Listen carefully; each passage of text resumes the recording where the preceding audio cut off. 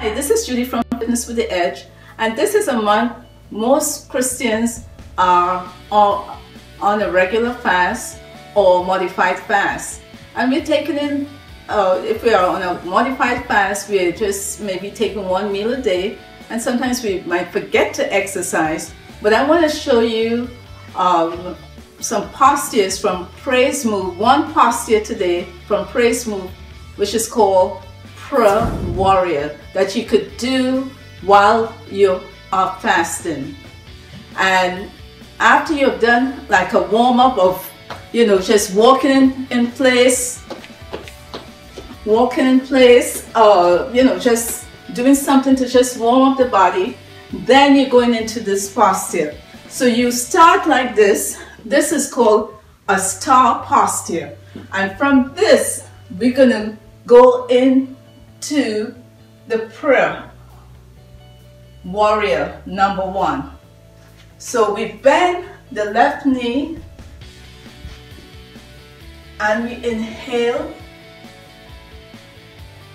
and exhale and we hold this postures making sure that the left knee does not go beyond your toes while we confess the word from James 5 which says the fervent and effectual prayer of a righteous man availeth much. So even while we're uh, taking this time to pray and fast, we could still exercise.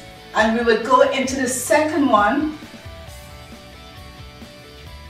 Put the left hand up with the palm towards the ceiling and the right hand behind your right leg. And you take a nice deep breath Inhale, exhale. Inhale, exhale. And we come back to the start position and we go to the opposite side. We bend the right knee. Make sure that it doesn't go beyond the toes. And we stretch, looking in the, the, on the right side.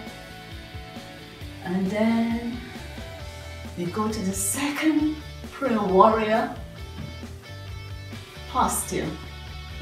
And remember your scripture and, con and confess it from James.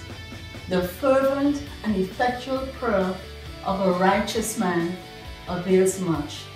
Inhale, exhale. That's all for today. I will be sharing more postures in this time of fasting. So Enjoy your time with the Lord.